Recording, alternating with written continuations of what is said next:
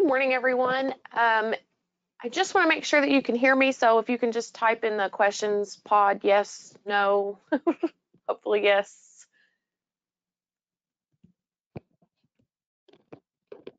Okay, awesome. Thank you guys. All right. so today we're going to go over new things in the school year. And this was a re, this is a rescheduled training because at the time I had it scheduled, um, I didn't have all the information released from ISBE that I wanted to have for this. So we did postpone it. Um, we have a little bit smaller crowd today, but I am going to give everybody a chance to get logged in. It's just now nine o'clock. Um, not a lot of earth shattering topics today. You've probably already heard about some of the new things. Um, so we will go through all of those things where, where new things are posted for the school year, things that you might be looking for, those kinds of things. So um, during the session, if you have not attended with us before, you can ask questions in the questions pod. I will answer them throughout the session, so you don't have to hold them until the end. Um, also, I uploaded your handout, so if you weren't able to get that previously, uh, you'll find that in your uh, GoToWebinar menu in the handout section. Um, and again, just if you have any questions, um, just ask them as we're going throughout and I will be happy to answer them. Um, so we'll go ahead and get started. So today we're going to talk about our instructions, where you can find those when they're released, um, some documents that show the 23-24 due dates, not only released from ISBE, but from us as well. Um, we have something that's just about iStar dates that doesn't include SIS and other things. So it's more focused on um, due dates in, in our system. We'll talk about exit data. Um, we'll talk about something that is new in iStar that I know everyone is very excited about. um, we'll go over reminders uh, for this time of year, how you can get individual training. So if you're new, even if you're not new and you need some one-to-one -one help, um, you can register for a training with me and we can do that via Zoom. And then I'll take any questions. This is going to have a Q&A portion of it. Um, and then, of course, how you can get some support from us. So during the Q&A, you can ask me about anything. Um, and I will answer to the best of my ability. If I don't get answers during that, we have a lot of questions. Um, in general, I'll do a Q&A document and post anything in that um, if I'm not able to answer it today. So hopefully I can, but just in case. So our instruction manuals have not been released yet for this school year, but they are coming soon. So the reason that the student approval uh, approval instructions have not been released yet is we were waiting on some documentation to come out. So I think we should see that very soon. Um, typically, we get our um, personnel approval manual in the wintertime. I think that might come out sooner this year, as well as our claim instructions. So we have some new staff members with all three of those areas at ISBE this year. Uh, some of you know that our um, our longstanding employees up there have retired, and so um, we have new, a new gang coming in, and they're really taking time going through those manuals and kind of evaluating everything. And so they might be a look a little bit different this year, but I think overall it's going to be a good thing. So we're cleaning those up a bit. So um, they will be posted on our website once they are available. We have those under manuals and guides right on the homepage in the middle. And of course, we'll announce it in our news briefing. So for those of you who are brand new, anytime we have a new manual come out, whether it's a revision or from year to year, we will post the manual and we'll have that bookmarked but we'll also post a changes document so you can see what is different between the two years. Okay, so next. Hmm. Okay.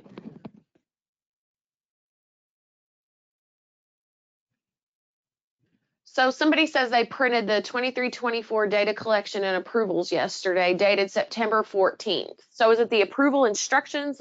Were you on ISBE's website? They did not let us know that it came out. Okay, okay, so we did not know it came out. Okay, well, then I will get to work when I get back to my desk and we will have that in our news briefing on Monday and I will get all those documents on our website. So I apologize. I did, I personally for sure did not know that that it was released. So, but that's how it goes sometimes and that's okay. We can deal with that. I'm glad it's there. So even if I didn't know, I'm glad that you guys will have it. So we will announce it Monday. So, okay. So the instruction manuals, this is where they're going to be. And they're also in iStar. So just so you can see um, how to get to those. All right, as far as our due dates go this year, um, we're just kind of hitting the high points um, as, as far as not just statutory due dates go, but also when our collections are going to be for approvals. And the first thing that we are approaching is going to be exit data. So this is due October 16th.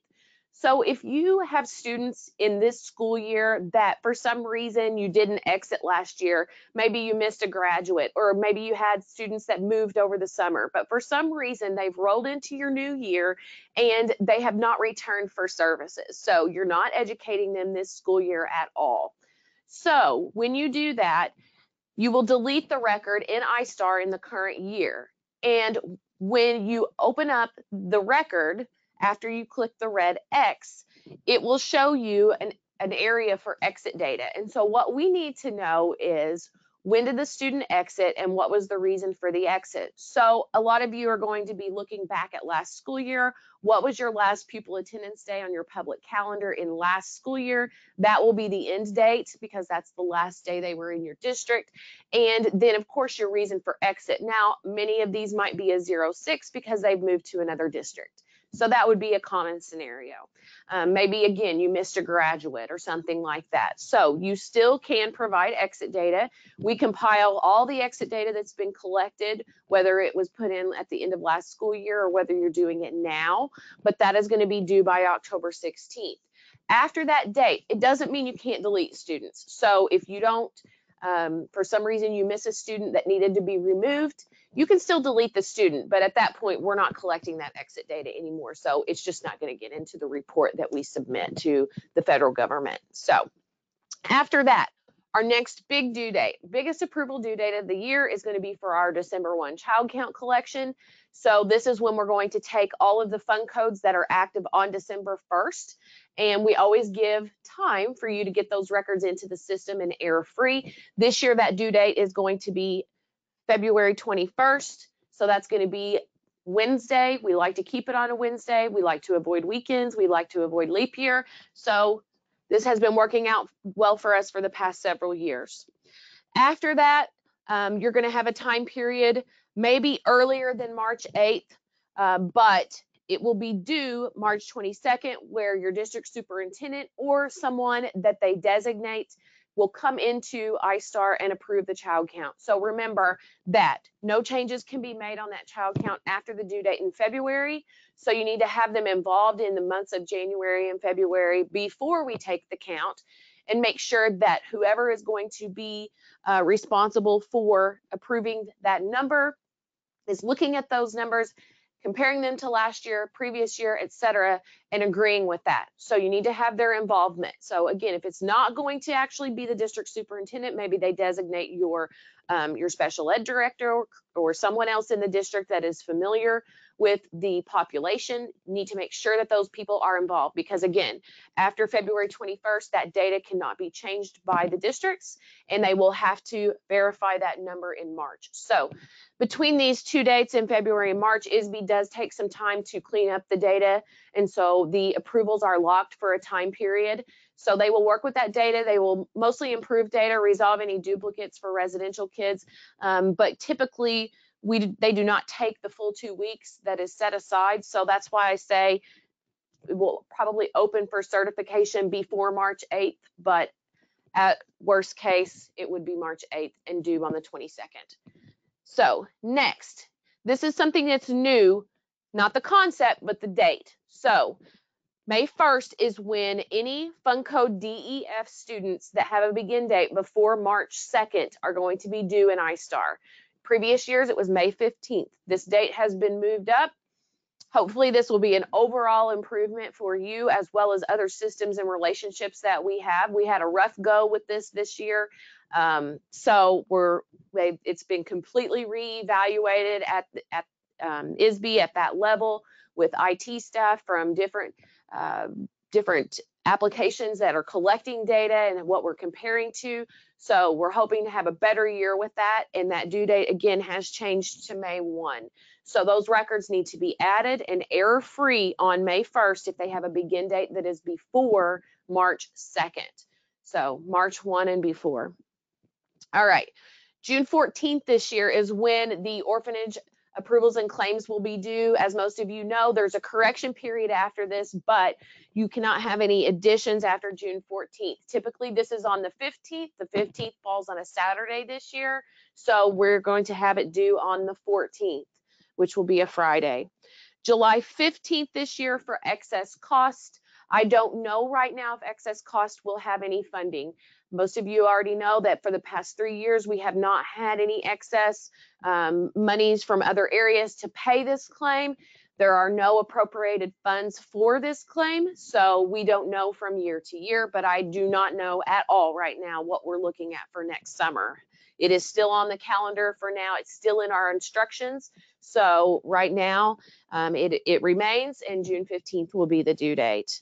And then for the end of the year, July 31st is when your personnel approvals, all student approvals and claims will be due except for private facility. As we know, that goes into um, August. So the only thing new here is that personnel has been moved back. It used to be June 30th. Now it's going to be due at the end of the school year, July 31st next year. So hopefully that will save you some time in, um, you know, looking at personnel. Sometimes we have to open that up later for people to make changes and things like that because it does have such a close relationship with the claims. And so we've decided that you know, the report is due later in the fall, so we're able to leave it open longer, and that seemed like a good solution for everyone involved. So, all right, so calendars. These are listings. So the Pro Harrisburg Project planning calendar is going to be similar to ISBE's planning calendar, but we pull out a lot of the things that relate to SIS or IDEA and just put in iStar related due dates, trainings, etc. So this is just focused on iStar. Now, ISBE's planning calendar, very similar, but it also has some other items with that that are in relation to special education, but not specific to iStar. So we've made a, a separate one if you are just concerned about iStar dates and you don't want, um, you know, things about SIS and all of that good stuff. So, all right, exit data. This is what it looks like to exit your students. Um, if you have students that have not returned, you're going to have your red X. And whenever you uh, click on the red X, that approval record will open. We do not let you delete anything without looking at it first. So if you hit the red X, it's not just going to disappear. It will open the approval record. Before you scroll down and click delete the final time, make sure that your exit data is here. So what you would want to do is put in your end date and the reason for exit. So right now, up until Monday, you're able to click this box here and bypass providing this. But after Monday, you're not going to be able to do this. Okay, so what you need to do is make sure that when you've deleted your kids that you have provided the exit data if you have not, then that's when you will look at instructions in our news briefing, go visit the exit data tab, make sure that all your exits are there. Okay, so again, it's due October 15th this year, but you won't be able to bypass providing that after this coming Monday. All right, so the new hot topic that I know everyone is thrilled about is the interpreter data collection. So several things about this. First of all, I still have some questions into ISBE, so I cannot answer any everything for you. Um, we do have a webinar specifically for this on October 5th. You're welcome to join us. I would encourage you to join us. Hopefully I will have more information. I have learned a lot about this um, over the past couple of weeks, actually. Um, even though we have been certifying this for quite some time in iStar, um, trying to kind of break the data entry portion of it, but I realized after I started getting questions that I didn't know as much as I should about the content of this. So um, the interpreter collection is going to be reported by every district in the state. Um, if you read the memo, you saw that um, CPS is not going to be reporting this in iStar. They are reporting it, and actually they have to report more data than the rest of the districts, um, and they will be um, using a, a, a, different application to do that, but the data will all end up in the same place. So it is only public districts. I have a lot, had a lot of questions about um, who should be reporting this from co-op district relationships. That's up to your co-op and your district. So if you're a co-op and you already manage all the data for your districts, I would assume you'll be reporting this for you. But that's not for us to say. So I've had a lot of questions about that. Um, so the interpreter is data collection is starting this school year. Um, this was put into statute in January of 2023. But this data for the interpreter portion started being collected in IEP systems and started to be a requirement at that level in January of 2022. So this is not necessarily a new collection, um, you know, or a new a new role at districts. It it's just that now we need to have that data in iStar and report it. So you can find interpreter data on the conference summary report for student IEPs. Again, January of 22 is when they started collecting this data. So this data collection is a little bit different than other data collections that we have because we take an aggregate, so we take a total and it's reported annually. You're not putting this on every student approval record. It's not a per student collection, okay? It's an overall collection.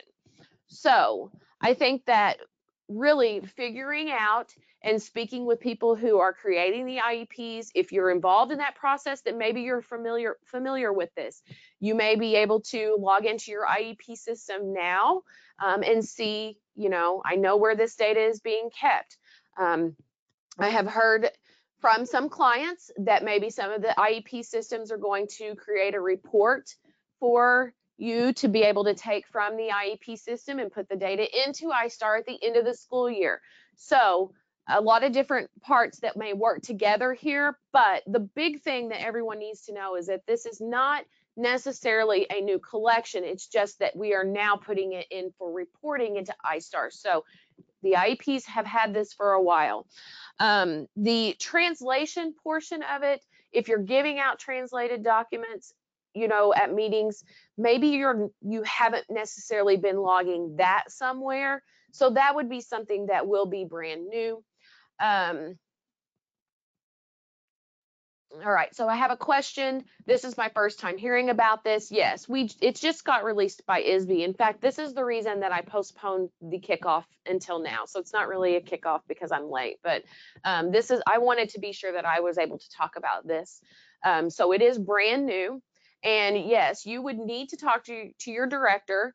And I mean, I'm sure that the interpreter portion has been tracked on student com conference summaries.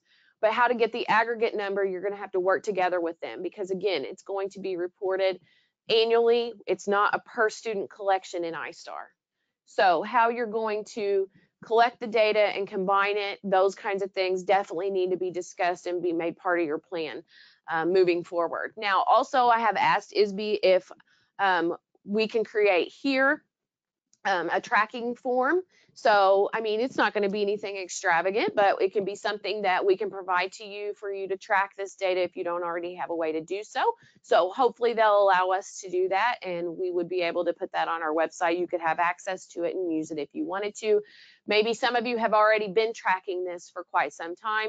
Maybe you're, maybe, um, you know, people who are performing me meetings have been tracking this and you just don't know because it hasn't come up. So um, it, it, although it's a brand new collection in iStar for us, it is not something that is new um, to those providing the meetings. So again, we're going to have a training on this on October 5th.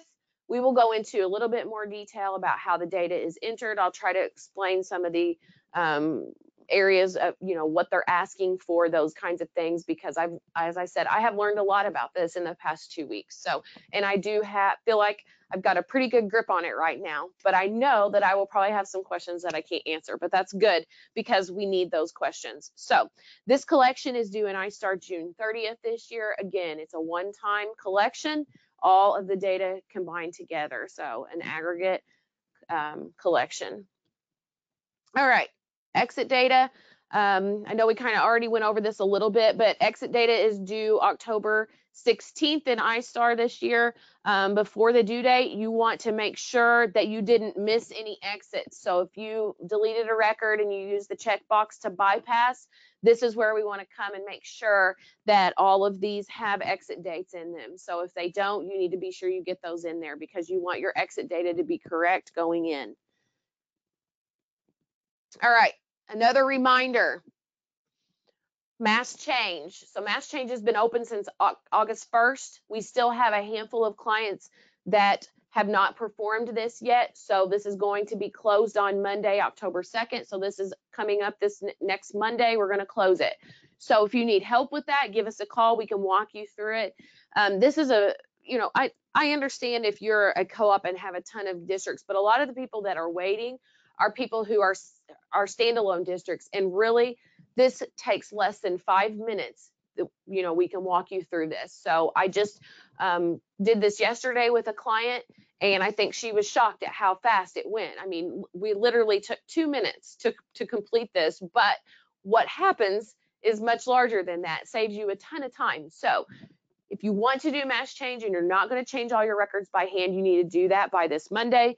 There is a recorded training that we did on this, of course, with the training notes. But if you want us to help you, just give us a call. We'll walk you through it real quick just make sure that you do have access to mass change. So um, you'll want to look at the notes and make sure that you're able to do mass change. If not, maybe another user will need to call us and we'll walk them through it. All right, individual training. So if you want to have a one-to-one -one session with me, you can go to our website under hot topics in the top left-hand corner. You can fill out this form. Um, be sure that you provide your address for me um, if you want to be contacted via email, that's fine. But I need your address because if I'm going to train you, I'm going to send you some goodies. So they would come via UPS. And so we just need to know your physical address in that instance. Um, you just check the boxes for the areas you, you want to talk to. Or, or, talk about and usually I get I will get this immediately and normally I, I am able to stay on top of those and I will reply back to you um, with uh, dates and times that would work for you so um, we can get it scheduled. So if you're interested in doing that, you don't have to be new, um, but if you are brand new, it's a good way to do a new user training.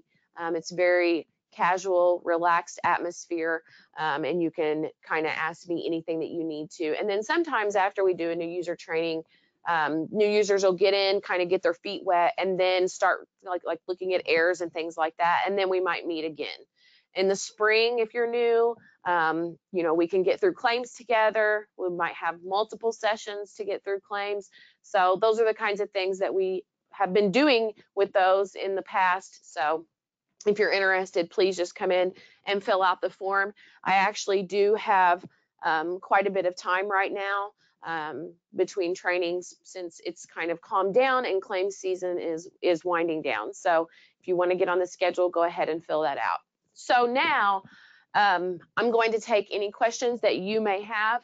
Um, it doesn't matter what the topic is, you can go ahead and ask. Um, again, remember if you want to register for the interpreter training, that's going to be on October 5th. So anyone can register for that, just like any of our other trainings. So if you want to come to that, um, go ahead and check in your news briefing or news briefing or on our website under events, and you can register for trainings there. So I will take any questions that anybody has. You can just type them in the questions pod and I'll give you a few minutes for them to come in.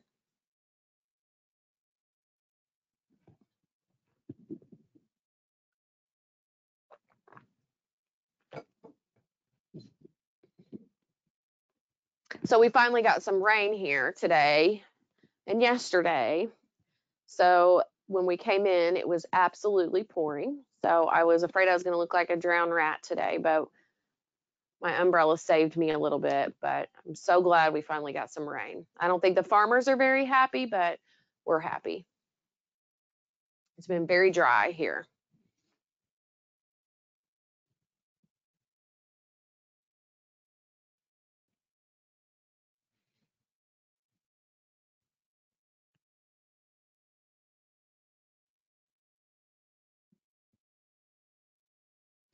Okay, when is the due date for summer orphanage claims? It's November first.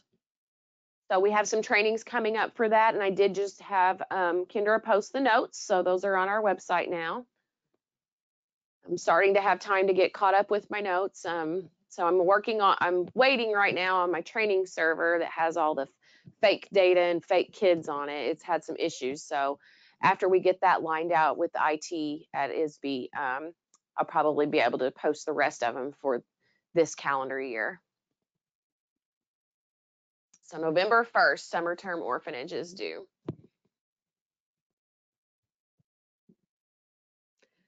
So talking about due dates, while I have people here, um, tomorrow, actually Saturday is the due date for the Fund B claims corrections in for last school year. So we're emailing and we're calling and all those good things this week. So if you have any questions about that, be sure and to ask us today or tomorrow because I'll, we're not going to work on Saturday. So even though that's the due date. So they just kept it open.